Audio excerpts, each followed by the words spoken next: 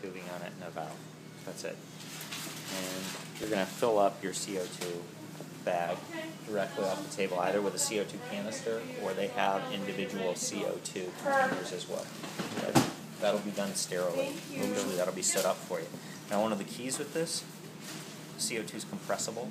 Mm-hmm. So Let me know if you fill this all the way up, the ready. gas will get compressed. They'll be under really high pressure, and the first time you inject it, you'll you'll inject high pressure CO2, which can cause barotrauma. So I always make sure that the bag is nice and soft. Okay. So That's my first. there you are. You're stuck with you've got the CO2 on the table. So the did other, they already, did they already fill this Yes. ahead of time? Yep. Okay.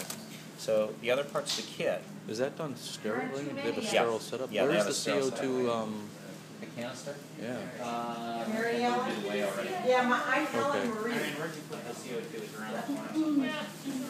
okay, that's fine, Shows alright. So the other parts of the kit are going to be this, which is the connector, which has the one-way valves.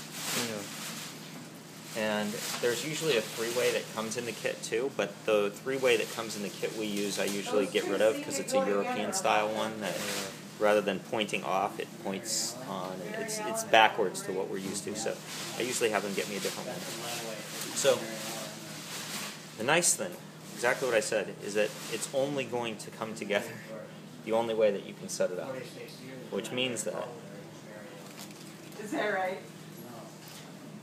I can't fit these two things together here. Correct. So I know that goes on there. It's our 60 cc syringe. Is that where she's That's going to go here.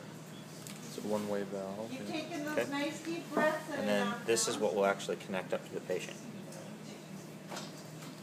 That's all there is to it? That's all there is to it. Now, remember that when we're actually going to do CO2 injection, You have to purge we'll it purge it a few times first. Okay, Every so time, right? I try to every time unless the whole system's connected. Now, let me ask you a question. How long will this supply, you know, last of, you know, Ad infinitum. okay. It's more likely that you'll use it up and that you'll have to refill. Yeah, that's what I'm kind of asking, like, has that, how often does that happen in your case? rarely, usually only for like aneurysm cases. Okay, all right. All right, well,